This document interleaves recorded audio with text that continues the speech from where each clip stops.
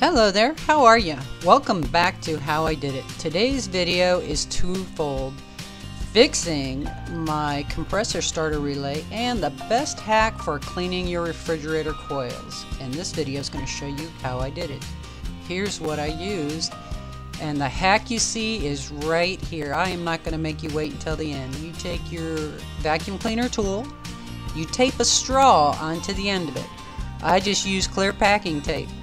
You put that on the end of your vacuum and oh my goodness it works so great to reach in all those little nooks and crannies. Okay so the first thing you're going to do is unplug your refrigerator, pull it out and remove the little cardboard cover on the back.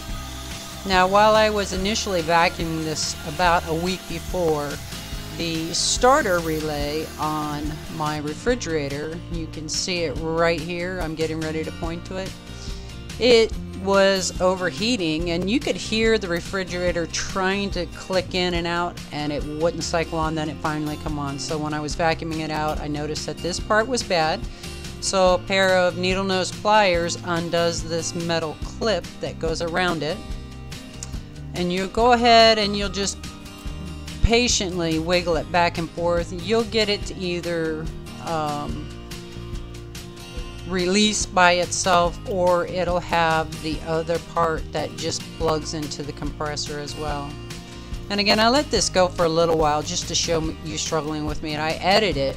Now it, it took me a couple minutes to get it around stuff to where I didn't bend any wires, bend any of the uh, copper plumbing and, and whatnot that was in there. But eventually I do get this little bugger out and as you can see it is just pretty pretty melted. Um, it was really overheating and like I said it would try to cycle on several times and then it would finally kick in. Just so happened that when I was under there vacuuming it I knew it was bad. So I ordered me a new part. I will list where I got my part from in the description below. Gave everything a good wipe off and then it just goes back on one way. You just plug it in and it's got that top pin right there that lines it up. Press it down and that's it. Now you got to be able to finesse it back in there. It actually finessed in easier and you can see um, taking your time not over rushing it. Three pins hold it. You just plug it back in and then that metal clip that we took off with the pliers, needle nose pliers. Just put that back on. It just holds it in place. And there we go. Brand spanking new. That saved me a few dollars.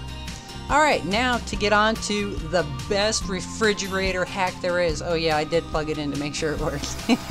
okay. If you watch this straw in action, oh my goodness, it is just so awesome. It will grab anything and everything. Watch the hair at the back. Sucked it right up. This thing just works absolutely fantastic. Now, this is a regular size straw. You get one of those longer straws from say 7-Eleven or wherever and it's going to reach even further.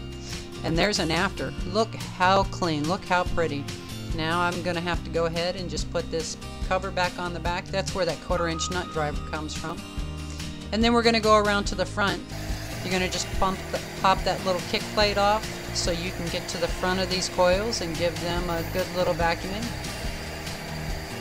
Again, this is just the redundancy. It's just showing how fantastic this hack works getting up underneath there and getting to your coils. It just, oh, fantastic and it absolutely saves you so much time.